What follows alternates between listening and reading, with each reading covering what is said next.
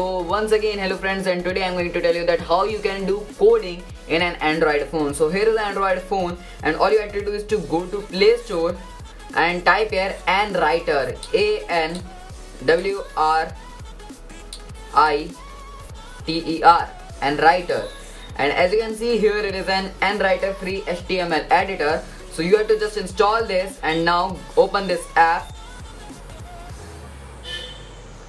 so now let us just open any type of folder video or for which you wanted to do coding. In my case I wanted to do this for this logo. And here is the coding for the logo. So let us just do something type of coding. Let us just type here meta.